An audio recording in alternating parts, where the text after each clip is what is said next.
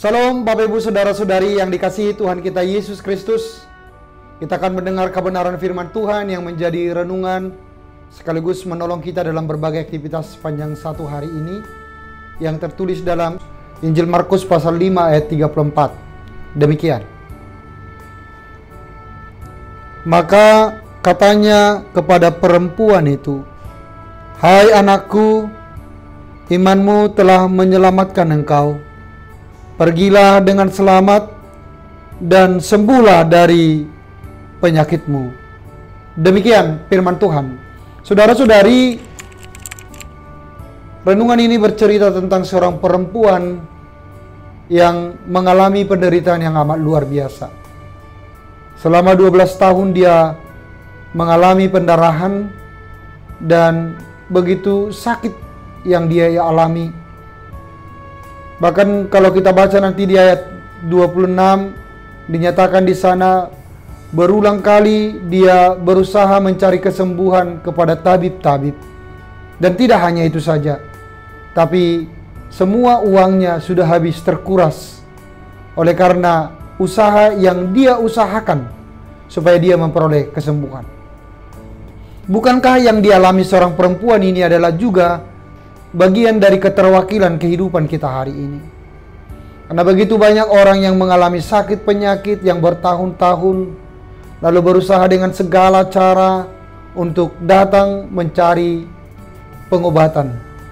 Bahkan terkadang secara tidak sadar kita akhirnya terjebak ketika kita sudah berusaha berobat ke para medis, tapi karena penyakit kita tidak kunjung tiba sembuh, lalu kita berusaha mencari alternatif-alternatif lalu yang lain.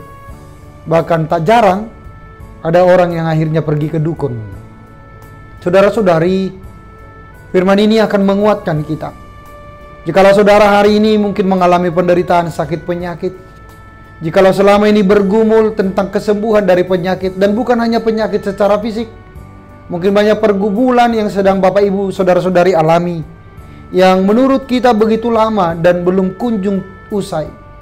Firman ini sungguh-sungguh akan menguatkan kita sebagaimana perempuan tadi yang ketika dia mendengar Yesus ada datang ke daerahnya. Maka dia berusaha dengan sekuat tenaga di dalam keterbatasan fisik dia yang sebenarnya sangat lemah karena 12 tahun dia mengalami pendarahan Sebenarnya secara fisik dia tidak akan mungkin mampu menerobos orang-orang kerumunan yang begitu banyak untuk menghampiri Yesus. Bahkan barangkali dia akan dicemooh orang lain yang selama ini mengalami penyakit. Yang selama ini dia didiskriminasi oleh orang lain.